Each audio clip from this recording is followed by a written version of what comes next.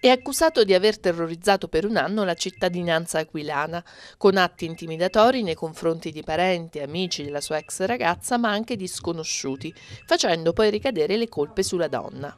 Definendolo uno stalker seriale, la polizia dell'Aquila ha arrestato un uomo di 38 anni.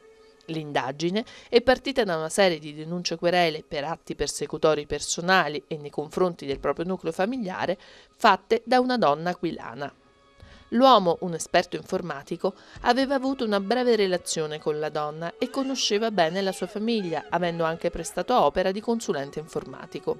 Da tecnico esperto, pare che l'uomo abbia attivato degli stratagemmi informatici che hanno procurato imbarazzanti turbamenti quotidiani, violenze psicologiche ed economiche alla famiglia della donna.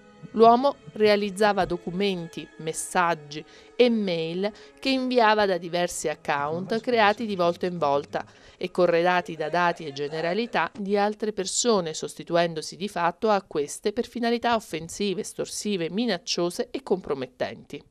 Per tutto l'anno appena trascorso, con i dati della donna, lo stalker, sempre in via telematica, avrebbe aperto conti correnti, richiedeva l'attivazione di servizi televisivi o telefonici o società finanziarie e acquisti online. Inoltre avrebbe pubblicato foto sui vari social network in cui faceva apparire la vittima come offerente di prestazioni sessuali. L'uomo è inoltre accusato di aver creato panico in città, a settembre scorso avrebbe annunciato con una serie di telefonate a distanza di pochi giorni la presenza di un ordigno all'interno di una scuola materna frequentata dal figlio della sua ex e dove la donna aveva lavorato fino al maggio 2015, periodo in cui lo stalker aveva effettuato la prima telefonata allarme bomba che aveva poi determinato il trasferimento della donna.